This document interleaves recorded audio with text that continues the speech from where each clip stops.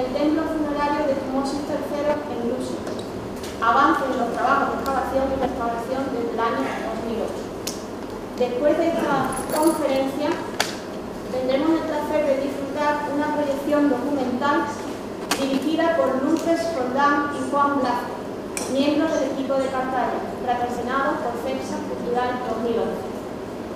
Lourdes Roldán es la coordinadora del seminario Cartella, Cartella a través del tiempo, que se viene impartiendo desde esta semana en el marco de la 21 edición de los cursos de verano de la Universidad de Cali Roque, nos presentará a continuación el documental del grabado por el equipo de investigación y que lleva por título Colonia Libertorum Cartella.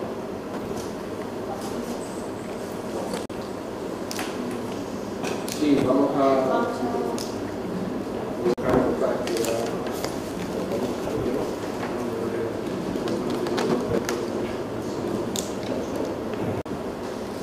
gracias.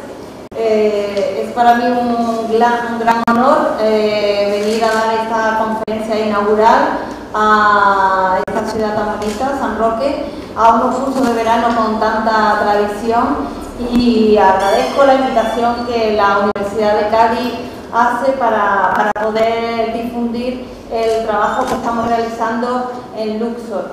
Eh,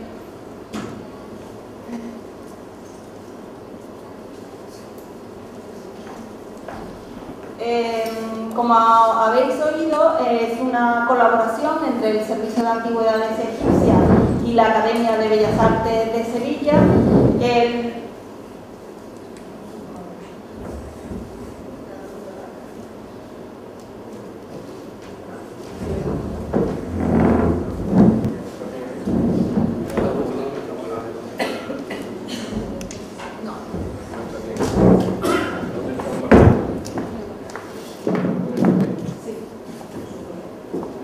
Entonces, es un, un proyecto... Ahora, vale. Bueno, lo, ¿qué pasa con el color? Ah, vale.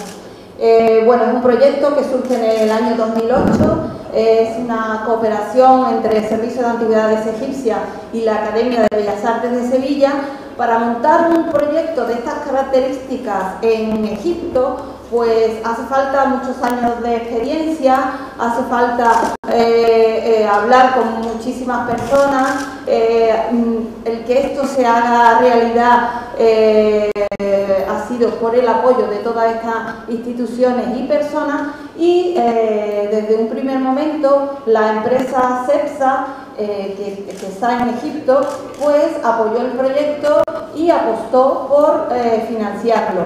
Entonces empezamos haciendo una primera campaña en el año 2008, eh, que hacíamos una, una eh, intervención de un mes y medio de campaña arqueológica y al siguiente año, en el 2009, volvimos a hacer otra campaña de un mes y medio. Luego en el 2010 hemos tenido también financiación de Fundación Botín con lo cual CEPSA y Fundación Botín han conseguido que hagamos campañas de tres meses y tres meses y medio. Ahora vamos a ver ese templo, las dimensiones de ese templo.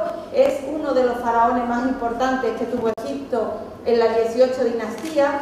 Es una época eh, en la que Egipto alcanzó una expansión territorial, eh, máxima y sin embargo hay muchas incógnitas sobre esa época. Curiosamente, el templo funerario de uno de los faraones tan importantes, pues había quedado en el olvido y eh, pues no se había eh, investigado. ¿no? El,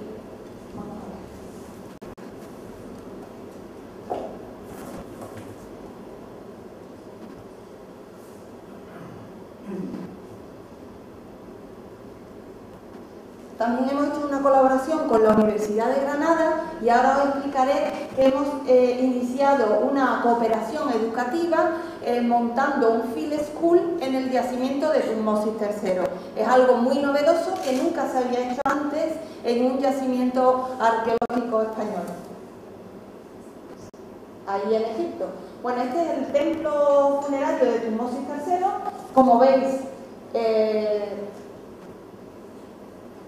este es el, muro perimetral de adobe que rodea el templo y tenemos una carretera que pasa por encima del patio del templo y la entrada al templo la tenemos aquí, que es donde está el pilono. Al otro lado de la carretera tenemos el pilono o la entrada al templo.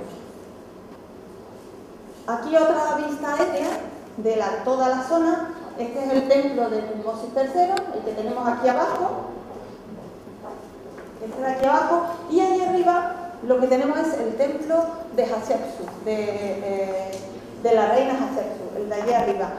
Eh, curiosamente, hay un templo de Tutmosis III al lado del templo de Hatshepsut. Ese templo es toda una incógnita, porque no se sabe el motivo por qué Tutmosis III construyó un templo funerario allí arriba, teniendo su templo funerario aquí abajo. Hay que saber que en la 18 dinastía hubo una, eh, moda nueva, normalmente el templo funerario tiene que ver con, la vida del más allá y tiene que ver con, los ritos funerarios. Por lo tanto, el templo funerario siempre está adosado a la tumba, arriba en la tumba. Sin embargo, en la 18 dinastía se empieza a construir los templos funerarios abajo en, en el valle al límite de la tierra cultivable. Entonces todos los faraones famosos como Ramsés II, Merentá, Amenofis III, eh, Seti I, eh, Ramsés III, todos estos tienen sus templos funerarios en líneas al límite de la tierra cultivable. Eh, Tutmosis III construyó su templo funerario aquí abajo, pero al final de su reinado construyó otro templo arriba, al lado del de Hatshepsut. Claro, ahí ya entra mucho la historia de la la relación dudosa, que si era buena o era mala, entre la reina Hatshepsut y Tutmosis III. Hay, hay, gente que piensa que ese templo se empieza a construir cuando comienza la damnatio memoria del nombre de Hatshepsut arriba en el templo. Entonces, eh, cuando nosotros, eh, estas son las primeras investigaciones en este templo funerario, la primera vez que se trabaja es en 1886, se hace una campaña, eh, eh Daresi hace una campaña arqueológica de un mes, eh, sacó, trabajó sobre todo en la, parte de arriba, la terraza alta, sacó estatuas que fueron llevadas al Museo del Cairo. Hizo esta campaña de un mes y abandonó el templo. Después habrá que esperar a 1906 en que Weigel, es otro arqueólogo, que hizo este estudio, también trabajó un mes, hizo este plano, como veis, pues trabajó en la, en la parte del, del norte, donde están todos los almacenes del templo. Como sabéis, el templo era el lugar religioso, pero también era un centro económico. Entonces, toda esa parte del norte son los eh, almacenes. Eh, trabajó en lo que es la rampa principal. A la izquierda vemos una tumba que también la excavó, que la dató anterior a la construcción del templo y que la tenemos metida en el muro perimetral. Eso lo veremos más detenidamente más adelante y que puso los límites, todo lo que está negro es el muro perimetral adobe con el, eh, el pilono o entrada al templo. Después habrá que esperar a los años 30, Weigel hizo una campaña de un mes y también abandonó el templo. Habrá que esperar a los años 30 en que Enrique, un arquitecto suizo, eh, volvió a trabajar en el templo. Este hizo cuatro campañas arqueológicas, de 1934 a 1938. Y él hizo un estudio arquitectónico, lo que hizo fue hacer sondeos por todo el templo para hacer una planta de cómo sería el, templo. Como veis, pues tenemos el muro perimetral, el pilono de entrada, una rampa primera, una segunda rampa, por lo cual es un templo en tres terrazas, en tres niveles. Y arriba tenemos la sala, el peristilo, la sala hipóstila y el santuario. Estos templos funerarios, la parte más importante era el santuario, al final del templo. El santuario tenía tres capillas. Una capilla en el centro dedicada al dios Amón, que era el dios principal de Tebas, y al que estaban dedicados todos estos templos, a la derecha, al norte, tenía un templo eh, en la capilla dedicada al dios solar, Rajaraste, y al sur las capillas dedicadas al difunto. Pues desde 1938 eh, se abandona el yacimiento y nadie vuelve a trabajar ahí. Hasta en los años, eh, en el 2008, cuando nosotros tenemos la, la concesión. Aquí veis la foto antes del, en el 2008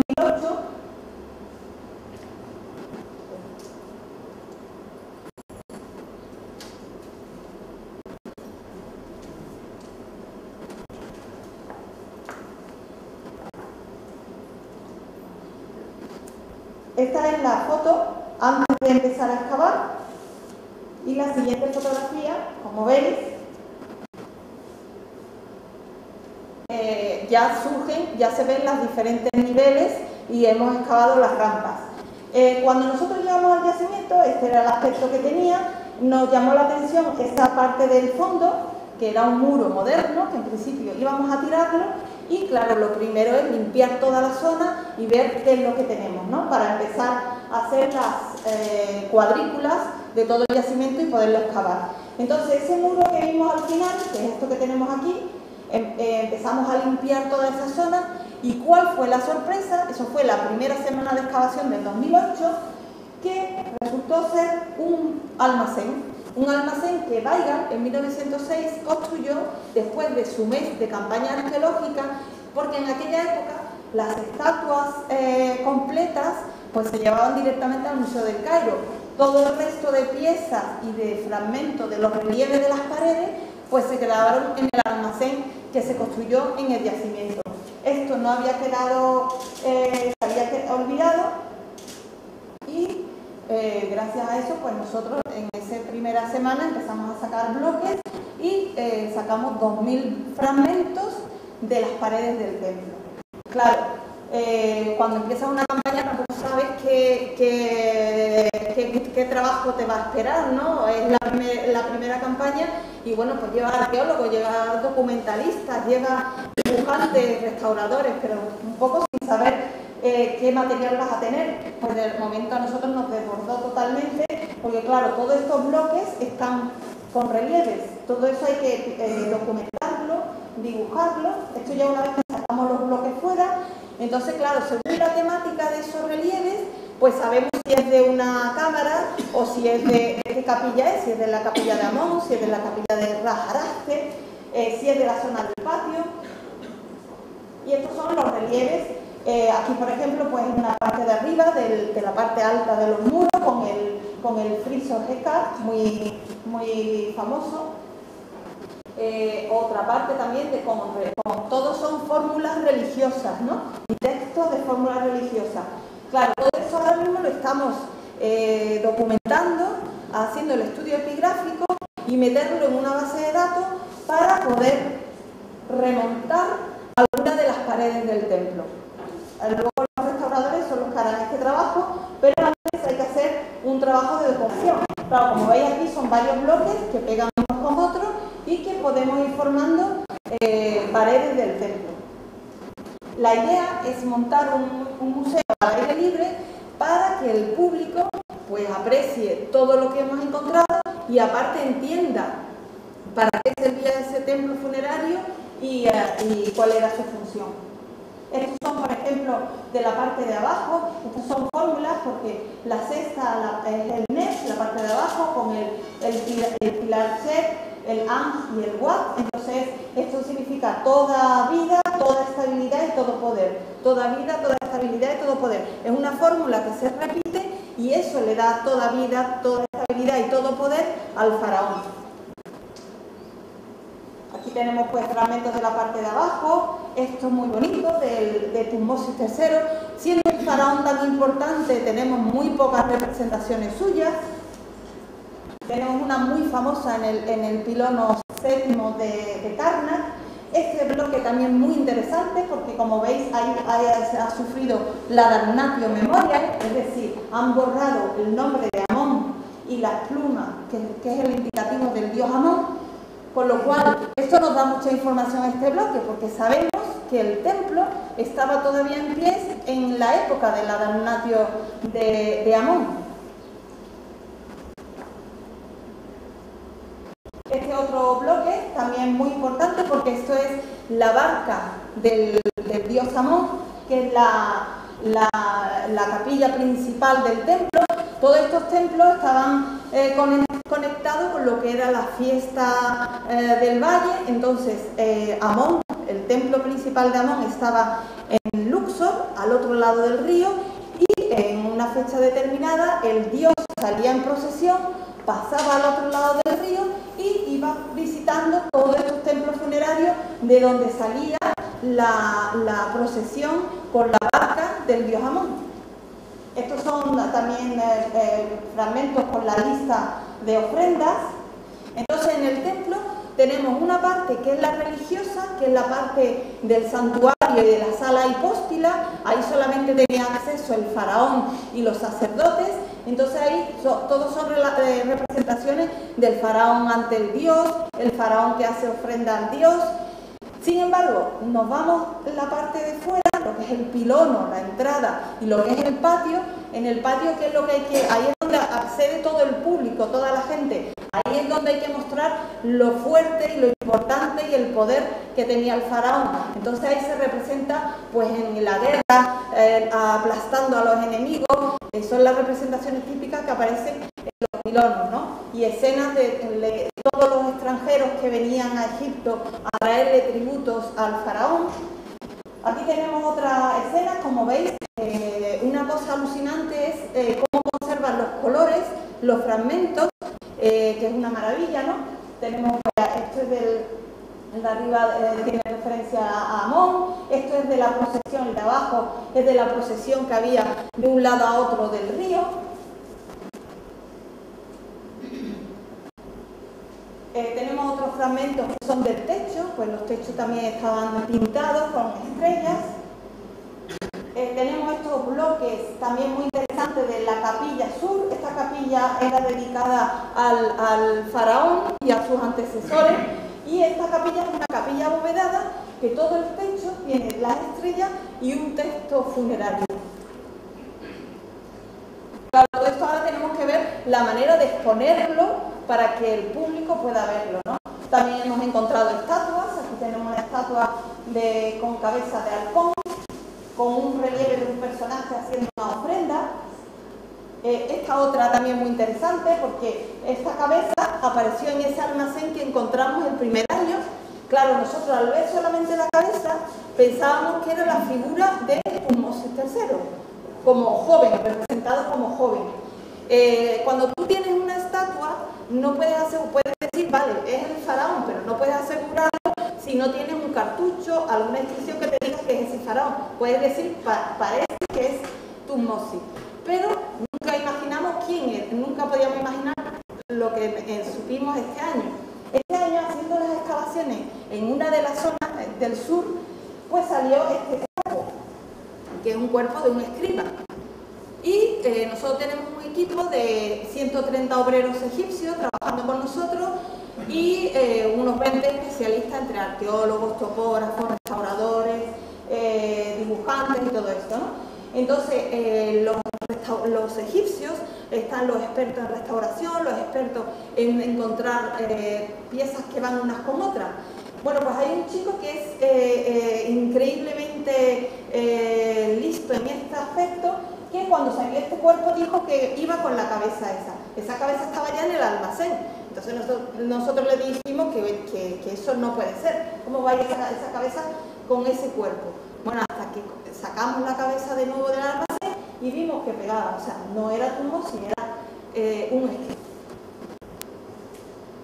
Eh, bueno, luego hay que hacer todo el, bueno, esto es un puzzle de todas las piezas, ahora mismo tenemos más de 6.000 piezas de estas pequeñas, tenemos 300 eh, bloques grandes, que son los de piedra arenisca, el templo está construido en piedra caliza, en piedra arenisca y los muros, el muro perimetral y el, el pilono en adobe.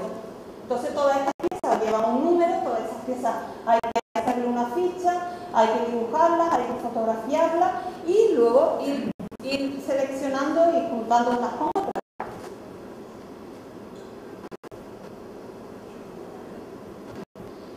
Entonces, eh, una vez que nosotros teníamos el templo, claro, queríamos trabajar en esa zona donde está el cuadrado negro, que era la zona del, santuario, quería trabajar en, esa esquina, ¿no? Eh, para empezar a hacer cuadrícula. Una vez que este era el aspecto que tenía el yacimiento cuando nosotros llegamos.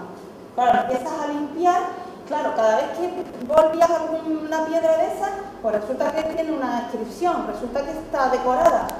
Es una locura, ¿no? Entonces empezamos a limpiar todo eso, luego a limpiar toda la superficie y una vez que estaba toda la superficie limpia, empezar a hacer cuadrículas. Nosotros tenemos un eje que divide el templo en dos mitades, la mitad norte y la mitad sur, y a partir de ese eje pues hacemos cuadrículas de 10 por 10. La idea es excavar en su totalidad. Y empezamos a excavar. ¿Qué encontramos? Toda la parte del santuario, es esto es una montaña, estamos en una montaña. La parte del santuario, pues nada, excavas 40 centímetros y ¿qué tiene? Pues la roca madre, la, la montaña. ¿Qué es lo que pasaba? Las losas del suelo estaban colocadas directamente sobre la montaña. Después, conforme te vas yendo hacia, hacia el este, claro, la montaña va bajando. Entonces, ¿qué es lo que hacen? hacer un relleno para tener una terraza alta. Luego hacen un muro de contención para contener toda esa terraza. Eh, en algunas zonas, como esta, pues se ve el, el suelo original. Otra de las cosas curiosas, los egipcios echaban el suelo de todo el templo. ¿Y qué es lo que hacían? Pues dibujaban la planta del templo en el suelo. O sea, tú este suelo está todo lleno de líneas, con lo cual sabes dónde van los muros, dónde estaban las puertas, tiene el dibujo de la planta del templo en el suelo, con lo cual nosotros tenemos muchísima información a partir de ahí.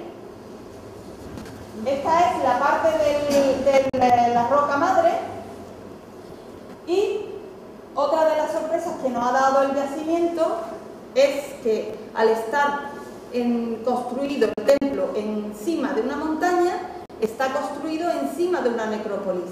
O sea, todo, debajo del templo está lleno de tumbas. Tumbas que son anteriores a la construcción del templo. Son tumbas del Imperio Medio y del segundo periodo intermedio. Claro, nosotros empezamos a ver esto y estas formaciones raras eh, pensamos que era pues una tumba.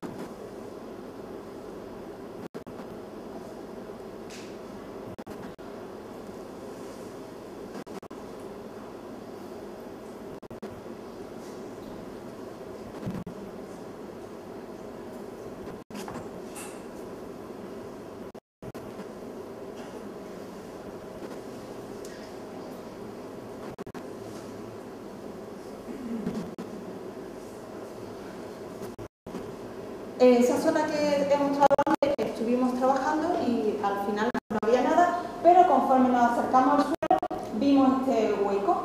Este hueco, sí, claro, eso fue en el año, en la campaña del 2009, empezamos a bajar, empezamos a encontrar huesos, esta es nuestra eh, eh, encargada del estudio de los cuerpos y al principio, claro, cuando ves un agujero de esas características, piensas que un foso, un foso que va a llevar a una cámara funeraria. Pues resultó que no era un foso, porque al, excavar un metro, metro veinte, llegamos al fondo. Entonces, ¿qué es lo que tenemos? Tenemos una cámara funeraria que ha sido cortada por la mitad, como media naranja. Claro, lo que tenemos es la mitad de la cámara funeraria. Y en el suelo, los restos de cuatro sarcófagos de madera. Esos sarcófagos hemos encontrado algunos restos y por las inscripciones sabemos que es del segundo periodo intermedio. Este es otro ejemplo de tumba también. Aquí estas losas del suelo estaban hundidas. Como teníamos que levantarlas para poder hacer la restauración, se suponía que era una tumba ahí debajo. Y efectivamente cuando la levantamos había una tumba. Esta tumba eh, el problema que tiene es que está hecha en una parte de la roca que es muy, de muy mala calidad y nunca llegó a utilizarse. Se abandonó antes de, porque aquí tenemos la cámara funeraria inacabada, nunca se llegó a terminar. Entonces, como estamos en una montaña y tenemos tres niveles, pues también tenemos tres niveles de tumbas. Después volvemos a colocar los bloques en su lugar. Y esta es la otra tumba está en el muro perimetral. Como veis, el muro perimetral aquí es la misma montaña. Y en ese muro es el que Weigel en 1906 ya excavó esa tumba y también la dató del segundo periodo intermedio por el material que le salió. Eh, otra de las zonas donde hemos trabajado ha sido la rampa, esa es la rampa principal de acceso a la terraza alta y esta rampa, pues bueno, empezamos a excavar vimos que habían construido un muro de contención de para contener esa terraza alta. Aquí tenemos la imagen de muro de contención y lo que es la rampa. Otra vista desde abajo. Y claro, tenemos la rampa y a un lado y a otro la, fachada, igual que el de Hatshepsut, en de Cuando empezamos a trabajar ambas cuadrículas, pues ya sale la rampa. Luego hemos hecho unas restauraciones que ha sido eh, colocar una malla de fibra de vidrio para diferenciar la parte antigua de la moderna y hemos añadido, depende del caso, una, dos o tres hileras de adobes construidos de la misma manera eh, con la tierra que nosotros hemos sacado de la excavación. De esa manera se ha creado una capa de sacrificio para que proteja las estructuras antiguas. aquí está, bueno, pues durante la restauración. Claro, para hacer esto nos fuimos a, la, a todo el, cuaderno de excavación que había hecho Rique en los años 30. Rique en los años 30 tenía hechas fotografías en las que había pues casi tres y cuatro hileras más. O sea, desde los años 30 hasta ahora, los vecinos de la zona pues han ido a coger adobe, evidentemente al lugar, pues para construirse sus casas. Este es Agustín Gamarra, nuestro restaurador, que es el que se encarga de las restauraciones de adobe. Y aquí, bueno, algunas imágenes de la rampa que en el 2010, esta es una foto aérea al terminar la campaña del 2009, con la rampa, las, dos fachadas ya eh, excavadas y otro detalle de la misma. Y aquí tenemos la foto del 2010. En 2010 ya hemos terminado de excavar toda la fachada, la rampa se ha restaurado en su totalidad y ahora tenemos estas otras novedades. Aquí tenemos una tumba, este agujero que tenemos aquí es una tumba y otro agujero aquí que es una incógnita, que no sabemos todavía de qué se trata.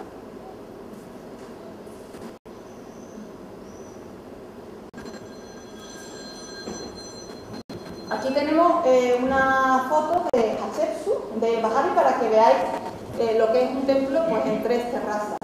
El nuestro es mucho más pequeño y en el sur estaba la capilla dedicada a la diosa Hathor. Nosotros también hemos encontrado en el sur otras capillas dedicadas a la diosa Hathor. Entonces, bueno, aquí os pongo algunas imágenes durante los trabajos de excavación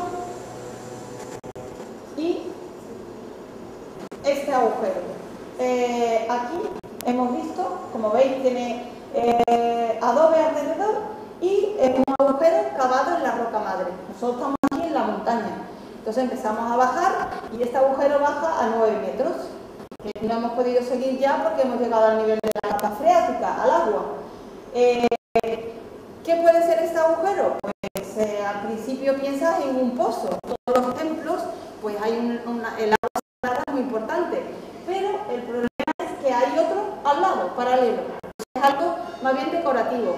Los que son los que excavan en Hatshepsut, han encontrado algo similar, pero más pequeño, y eh, lo interpretan como agujeros para, eh, para sembrar eh, árboles sagrados. Pero claro, un esfuerzo tan grande de hacer un agujero en la roca madre estas características para simplemente llegar a la capa freática, el, el árbol no necesite agua, pues no lo sabemos todavía qué es este agujero porque tenemos otro al lado. Aquí. En esta zona hay otro, que todavía no lo hemos... aquí tenemos otro. Entonces el año que viene, ahora en septiembre, vamos a excavar esta para ver si hay aquí también. Claro, si tenemos cuatro, se, se trata de algo decorativo. Y delante del pilono, de la fachada, hemos encontrado otros dos agujeros. La tumba, pues empezamos, esto fue lo primero que encontramos en la tumba. Claro, pues vemos que es un pasillo. Todas estas tumbas tienen un pasillo que llegan a una cámara que tiene un pozo funerario. Empezamos a excavar y este era el final de ese pasillo. Está todo lleno de cerámica, eso tenemos jarras de, de cerveza que son típicas del segundo periodo intermedio y huesos quemados por todas partes. Y aquí a la derecha, aquí a la derecha, esta zona de aquí, pues había un agujero, un foso, que era este. Lo vaciamos, que tenía 3 metros 20, y nuestra gran sorpresa fue que en esta zona de aquí, todo esto es la roca madre, pero aquí tenemos adobe, un sellado de, como una puerta hecha de adobe. Entonces, claro, encontrar una cámara funeraria sellada es, mm, madre mía, que vamos a encontrar en esa cámara. Eh, y esto fue. Resulta, aquí tenemos se ve perfectamente, este es el sellado de la cámara, aquí, esto es la puerta de adobe, pero ¿qué es lo que había pasado? Esta puerta fue sellada en un principio con piedras en el imperio antiguo. La tumba fue robada y se llevaron todo de la, de la cámara funeraria. Y en el segundo periodo intermedio, que es un periodo de guerra y de hambres, pues eh, se volvió a utilizar la tumba y se enterraron cuatro personas, que es lo que hemos encontrado, los cuerpos de cuatro personas, con el actual funerario que es cerámico.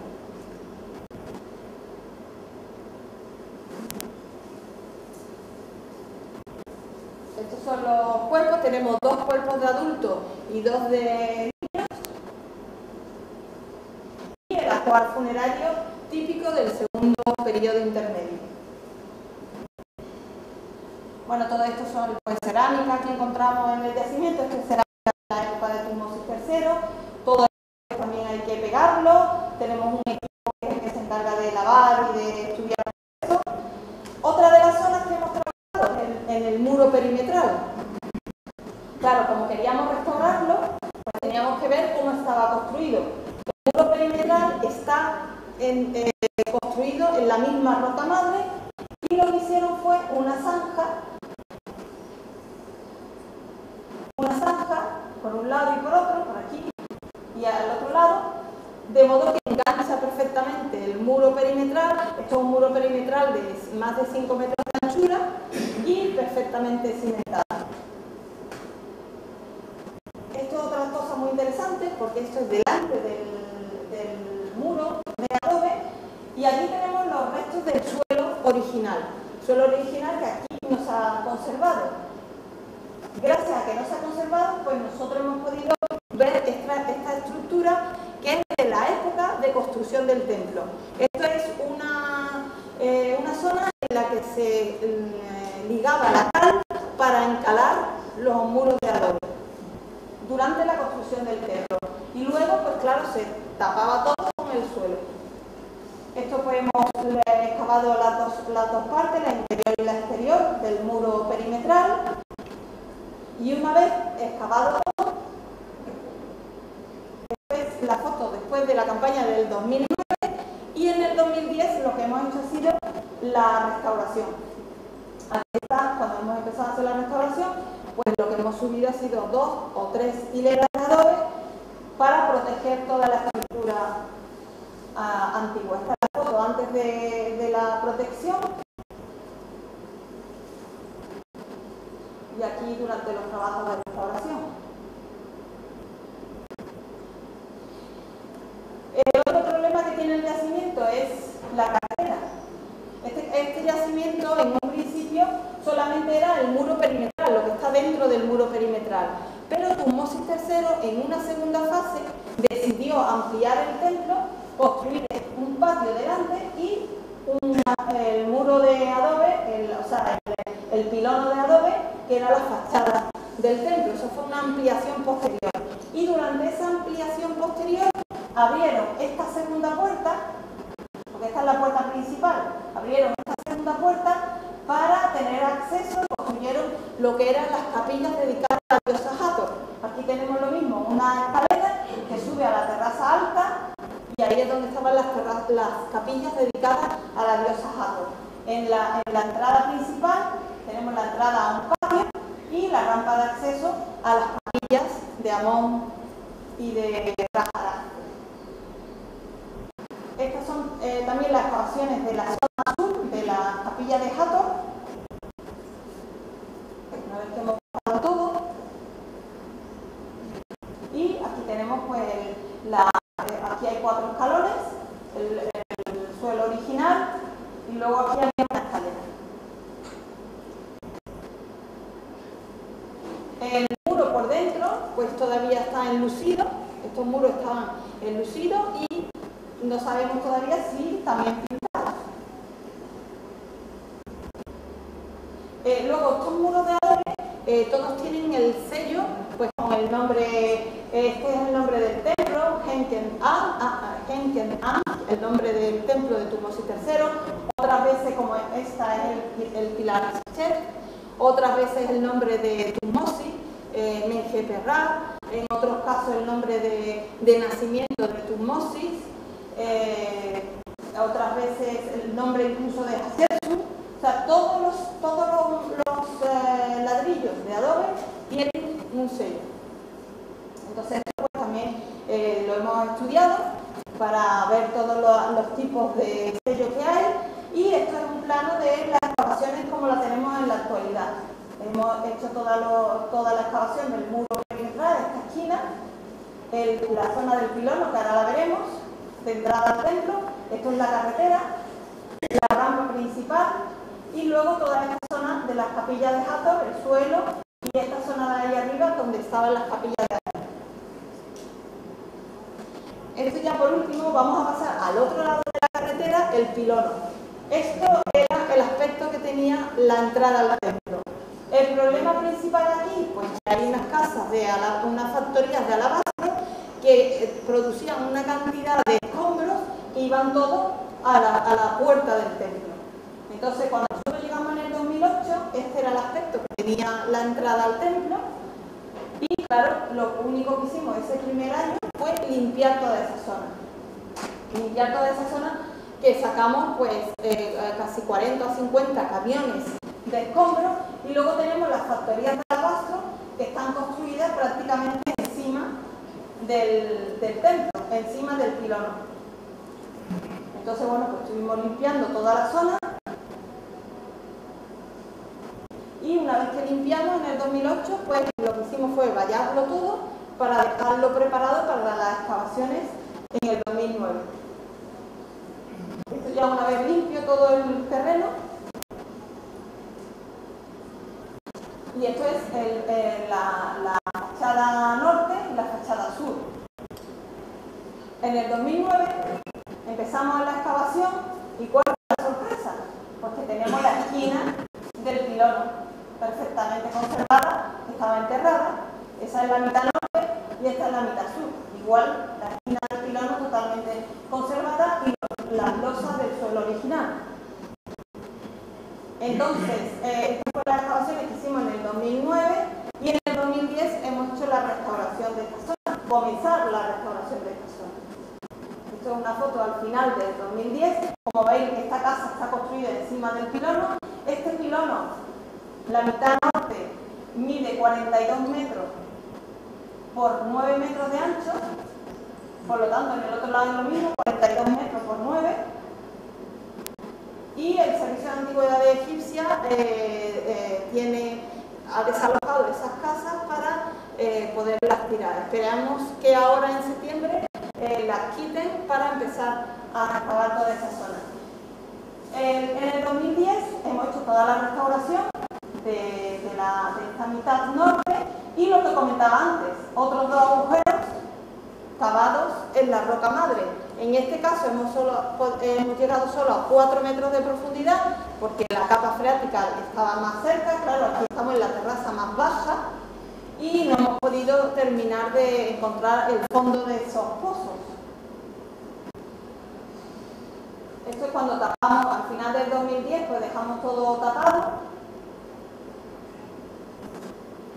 Y en la zona delante del templo, todos estos templos, pues tenían unos canales delante y un puerto, todos estos templos funerarios. Entonces estábamos buscando el puerto del templo funerario. Hemos hecho unas prospecciones eh, con radar, pero no han dado muy buenos resultados. Y el año, este año que entra, pues vamos a la Universidad de Granada, va a mandar un equipo para hacer estas prospecciones. Y aquí os pongo algunas fotos de las restauraciones del pilono como veis aquí esta parte estaba eh, con peligro de desprendimiento, entonces lo que hemos hecho ha sido construir aquí una, un apuntalar esta zona, todo con el mismo adobe, y luego subir lo que es la estructura solamente con cuatro o cinco hileras para que la gente sepa pues, las dimensiones que tenía el pilono. Todo esto hay que continuarlo hacia allá, 42 metros. Otra cosa muy interesante es que pilonos de la 18 dinastía de adobe, al ser de adobe, se conservan muy mal.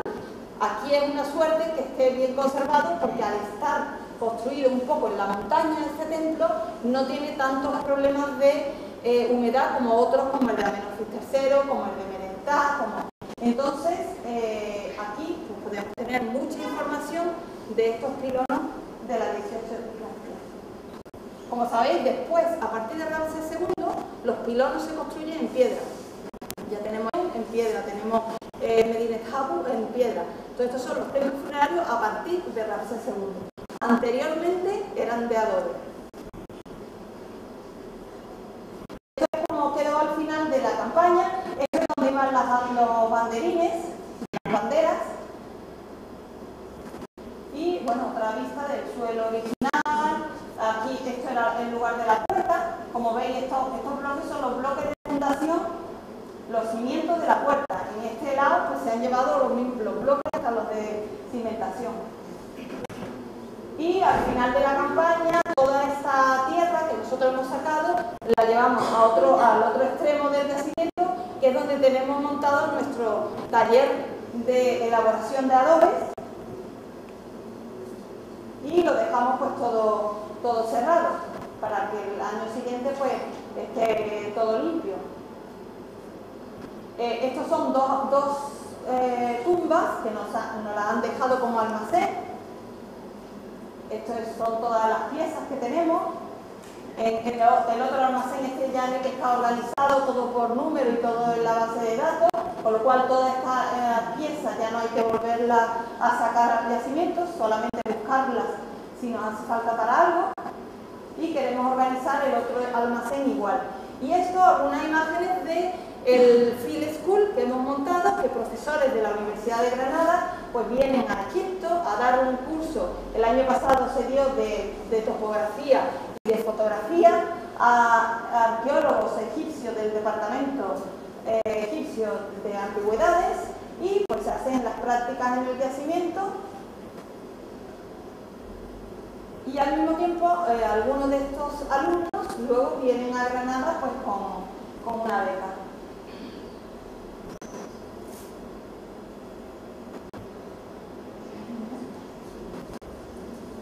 Y esta la visita de, de CEPSA eh, cada año, pues durante la campaña, eh, los miembros de CEPSA pues organizan una visita para ver el yacimiento. Esta es una fotografía del último año, del 2010. Y eso es todo, muchas gracias.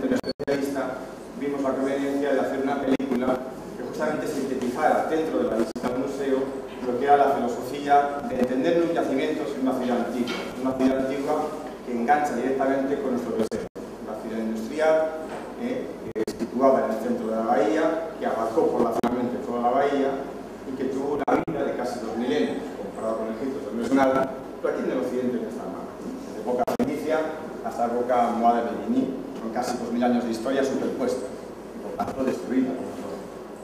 De tal manera que en paralelo a este proyecto Cartella, pero con esta filosofía de divulgar y poner en valor, y con el patrocinio de CEPSA, eh, hicimos un nuevo proyecto de investigación en torno a los estudios de cartografía, paleoambiente y reconstrucción del paisaje antiguo de lo que es la bahía de Cartella, la bahía de Algeciras, la bahía de Gibraltar. La película, pues, está destinada a ser proyectada en una triple pantalla en el museo, en la nueva sede del museo de siempre, municipal de San Roque, de pronta inauguración, y está diseñada por, las lógicas limitaciones del espacio, a la gente le puede extrañar, en la triple pantalla, un poco, digamos, pues, una especie de TV que abarca, que embarga al visitante que vaya a ver el museo. De tal manera que aparte de ver piezas, a ver de cultura material, sobre todo para la gente ajena al paisaje campo occidental o ajena a esta cultura, pensando al erudito, al no investigador, al extranjero, que si les sea familiar lo que representa el yacimiento de Cartell. Como decimos, más que un yacimiento es una ciudad antigua. Después una película didáctica, sintética, les decía antes que les sabía poco, y bueno, lo menos que tienen que saber, está diseñada para ser vista también. que ustedes algo dinámico dentro de una visita dinámica porque al fin y al cabo el museo es una acicate más para conocer San Roque y a su vez para provocar la visita a protagonistas que es el yacimiento, que tiene un reto alimentar, yacimiento y museo, cartella y San Roque. De tal manera que eso es un poco la síntesis. Es un fruto del trabajo más del equipo, que hemos contado con el mencionado de CEPSA, y que se compagina muy bien con el proyecto cartella con el proyecto de Andalucía. Entonces, como dicen los toreros, va por ustedes. Si pueden apagar las luces que están ya.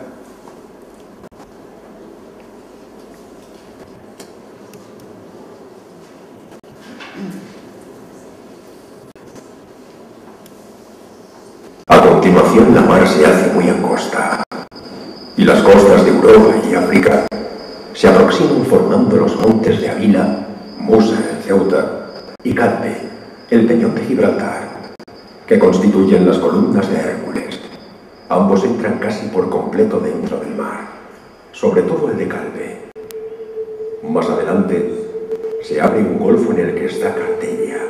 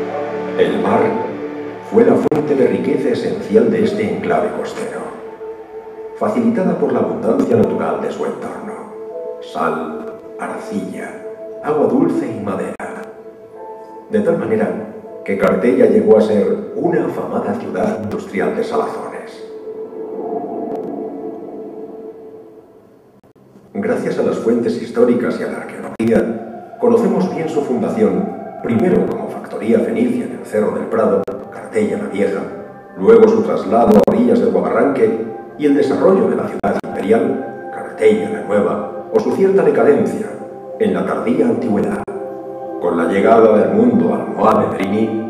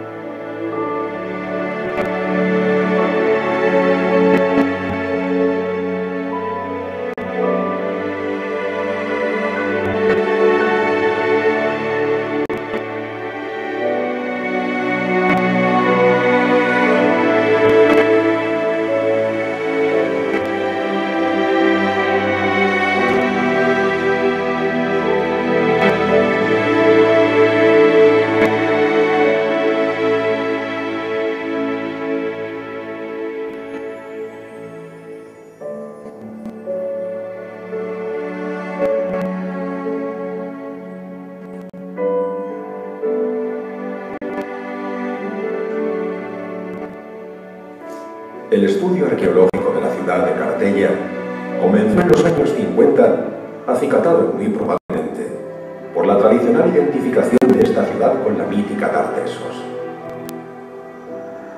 Las excavaciones iniciadas entonces por Julio Martínez de Santa Olalla fueron continuadas años después con el patrocinio de la Bryan Foundation.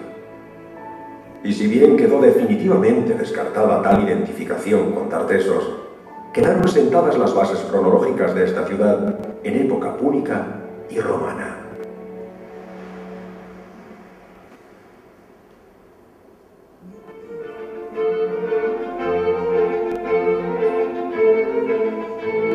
En los últimos 15 años, como fruto de planteamientos de investigación y de excavación más modernos, se han tratado y solucionado problemas históricos y arqueológicos de la ciudad, así como por primera vez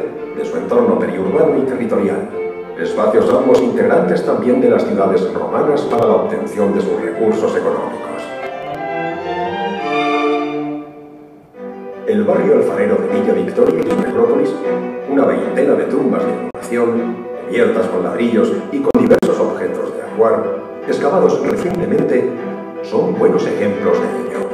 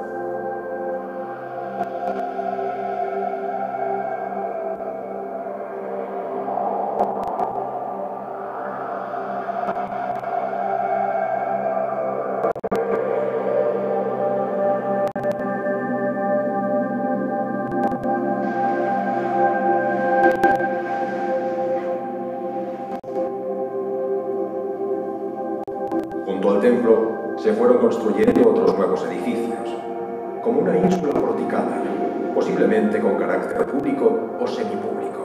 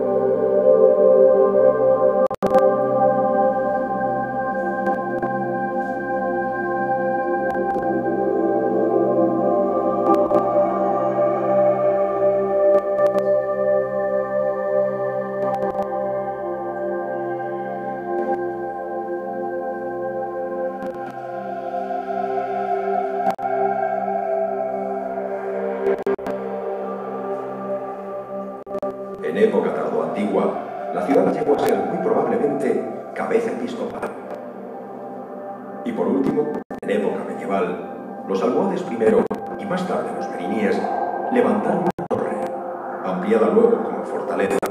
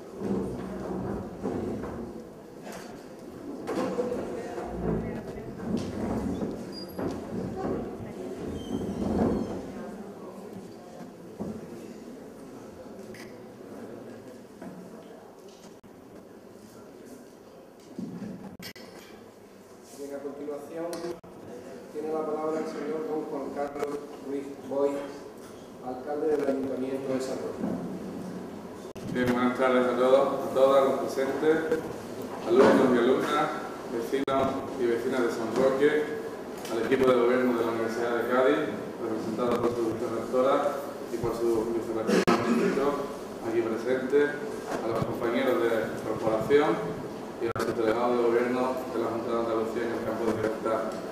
Quiero expresar mi enorme satisfacción por encontrarme esta tarde inaugurando una nueva edición de los cursos de verano de la Universidad de Cádiz En concreto, se trata de la 31 edición que debería haberse celebrado el pasado año 2010, pero que por diversos motivos se suspendió. Hemos recuperado una nueva edición del curso de verano y quiero manifestar mi más firme compromiso con esta cita cultural y académica que cada año reúne en la ciudad a destacados ponentes, investigadores, académicos, junto a numerosos alumnos que convierten el casco de nuestra ciudad de San Roque en una pequeña universidad, una universidad improvisada durante varios días, durante o cada mes de julio. Durante la pasada campaña electoral, la recuperación de esta cita académica y cultural supuso una de nuestras más importantes promesas y hoy estamos aquí cumpliendo esa promesa. También quiero destacar nuestro compromiso que continuará en la línea de mantener y de potenciar los cursos durante estos cuatro años de mandato. Nuestra fuerte apuesta por la continuidad del curso de verano de la UCA en San Roque se fundamenta en que se trata de una actividad cultural que ha dado un enorme prestigio a la ciudad de San Roque y que ha ayudado a que sea considerada una referencia cultural, no solo ya dentro de la comarca del campo de Gibraltar, sino también en Cádiz, y me atrevería a decir que también en Andalucía. Quiero agradecer el trabajo y el enorme esfuerzo realizado por los técnicos de la Delegación de Cultura, la implicación y la apuesta de los responsables de la Universidad de Cádiz. Y quiero aprovechar este momento para felicitar a la nueva dirección de la UCLA, encabezada por su doctor magnífico, el señor Eduardo González Mazo, que se estrena hoy en este acto universitario, en este acto académico, tras su nombramiento de ayer mismo, como nos comentaba al principio. Quiero agradecer también a las empresas que han patrocinado esta 31 edición del curso de verano, unos patrocinadores que han permitido que al ayuntamiento no le suponga ningún coste económico, ya que esta edición está financiada al completo por este conjunto de empresas.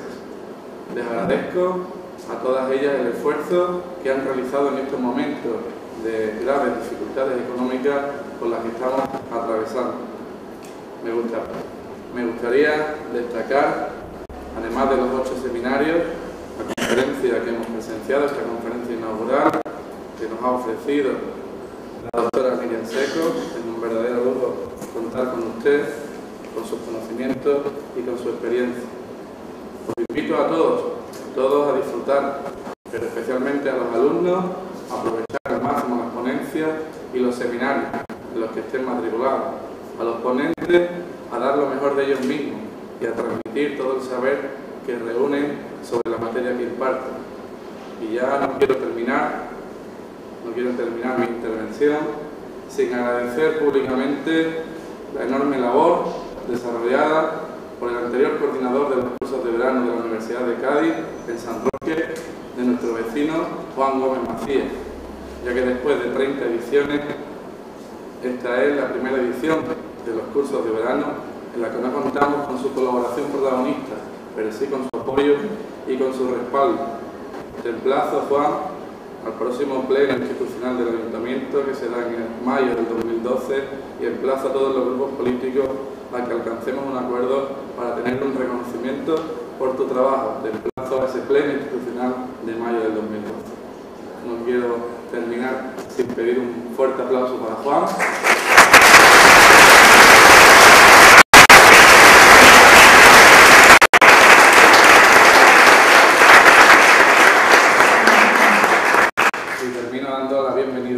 Bienvenida a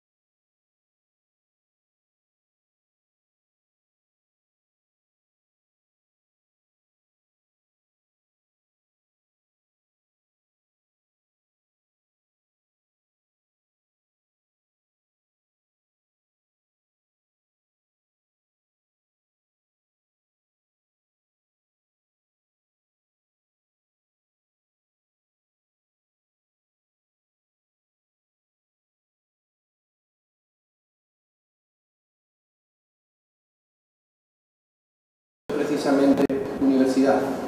Universidad es devolver a la sociedad la investigación que somos capaces de realizar. En esta magnífica conferencia de la doctora Seco, todos, hemos disfrutado con lo que hemos visto, pero detrás de eso hay un trabajo impresionante que todos nos podemos imaginar. En la proyección que también hemos visto, todos hemos disfrutado de lo que hemos, de lo que hemos contemplado, pero hay mucho trabajo detrás. Y precisamente nuestra mayor responsabilidad está, está en saber mostrar y proyectar lo que la universidad significa para la sociedad en cuanto a estos temas de investigación. Como les he comentado anteriormente, este es mi primer acto académico como rector de la Universidad de Cádiz. Este acto es entrañable, no por ser el primero, sino por tener lugar en el contexto de la inauguración de unos cursos de verano tan importantes. Permitirme la licencia que, desde el punto de vista emocional, recuerde mucho a estos cursos. He sido ponente en estos cursos, he sido coordinador en alguna edición y he pasado muy buenos momentos aquí en San Juan. Han crecido y han evolucionado en paralelo con la Universidad de Cádiz, UCA y sus cursos de verano en San Roque trazan una línea y una relación histórica que va desde su nacimiento hasta nuestros días. Este año estamos de enhorabuena doblemente por retomar esta iniciativa. Gracias, señor alcalde, señores responsables de las empresas que patrocináis estos cursos y por cumplir 31 ediciones. Acumulamos ya más de tres décadas de cursos de verano en San Roque, por lo que han pasado científicos, filósofos, escritores e intelectuales de las más diversas ramas del conocimiento. Basta repasar los contenidos de los ocho seminarios que se desarrollarán entre hoy y el próximo 23 de julio, en el profundo componente de responsabilidad social que subyace en todas y cada una de las acciones de la Universidad de Cádiz. En esta 31 edición estos cursos se interesan por asuntos de gran calado para la comarca, como la gestión del riesgo y la seguridad industrial, medidas para la sostenibilidad energética, la planificación económica en puertos, cartella a través del tiempo, cartografía histórica, fotografía antigua y reconstrucción virtual o la huella morisca en la comarca. Asuntos que conectan con el entorno inmediato y que demuestran el interés de la Universidad de Cádiz a la sociedad y a la ciudadanía. La UCA aporta con estos cursos y en todo lo que hace el rigor, la capacidad de análisis, el método y un enfoque crítico son indispensables para saber lo que ocurre y proponer medidas de corrección. Unos cursos que a su vez ejemplifican el indiscutible pozo humano y la implicación solidaria de la Universidad de Cádiz. De ahí la apuesta por iniciativas como el Seminario Técnico de Equitación y Discapacidad o formas para abordar el dolor.